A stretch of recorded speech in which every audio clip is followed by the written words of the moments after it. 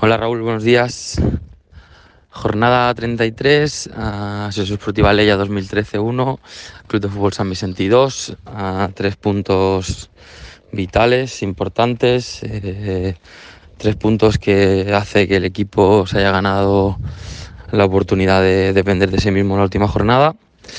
Eh, cosa que es muy, muy, muy, muy importante. Entonces, bueno, súper contentos por el trabajo de los chicos, súper contentos con la actitud de todos, el compromiso de todos, eh, de poder, bueno, tener esta oportunidad de la última jornada, pues depender de nosotros mismos y, poder mantener la categoría, que era el objetivo de,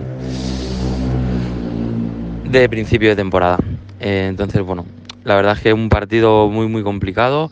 Eh, la primera parte Aleya entró muy bien los primeros 15 minutos, muy muy bien, muy por encima nuestro, nos sometieron, eh, estuvieron más intensos, más agresivos, ganaron las segundas jugadas. Eh, bueno, estábamos nosotros, no, no acabamos de entrar en el partido. En el minuto 13 o así, pues una falta lateral, ellos estaban mejor que nosotros en todo y, remataron y, se pusieron por delante del marcador 1-0. Y aunque pareja mentira, pues el gol no fue bien. No fue bien porque nos hizo despertar, nos hizo entrar en el partido y a partir de aquí sí que creo que estuvimos eh, mejor, bastante mejor.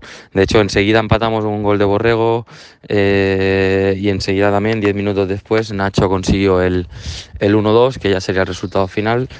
Eh, y que bueno, al descanso nos fuimos así y el partido terminó así.